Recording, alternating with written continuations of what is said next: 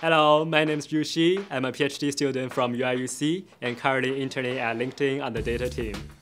Today, I'll be presenting our paper, Dynamics of Large Multi-View Social Network, Synergy, Cannibalization, and Cross-View Interplay.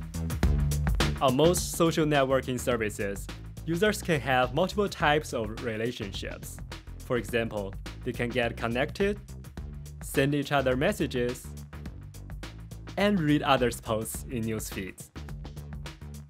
Each type of relationship can be naturally represented as a weighted graph among the same set of users, and together they form a multi-view social network. However, we notice different views are not totally isolated.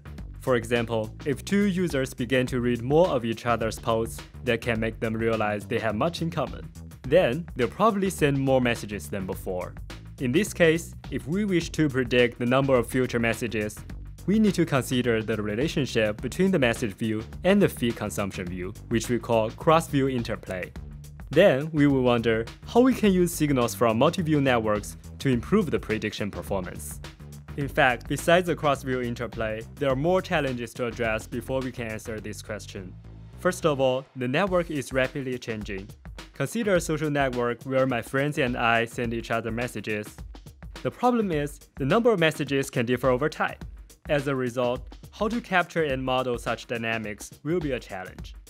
Another challenge is there are interactions among different components of the multi-view network.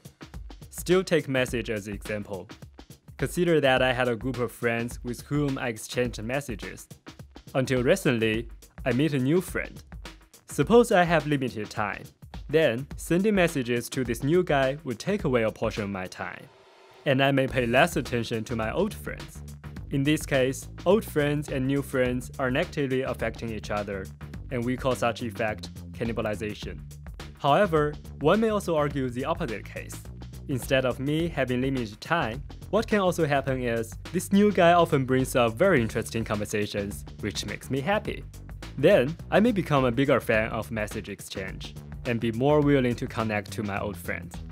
In this case, sending messages to this new guy possibly affects my old friend, and we refer this mutually enhancing effect to synergy. As a result, these effects within the network must be considered for better prediction.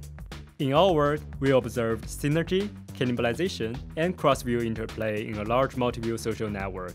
Moreover, considering these effects, we proposed a scalable model and achieved better prediction results on user activity levels. For more of our discoveries, please read our paper or check our poster.